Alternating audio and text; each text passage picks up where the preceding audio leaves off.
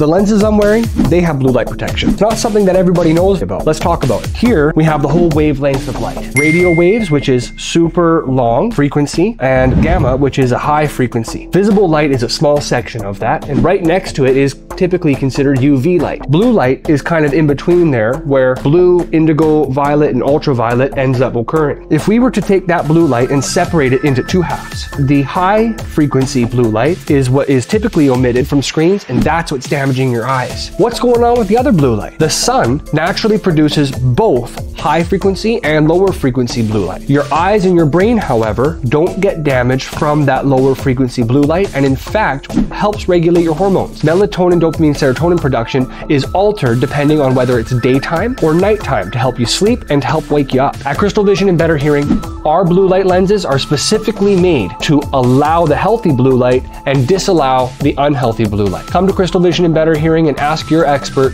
for more advice.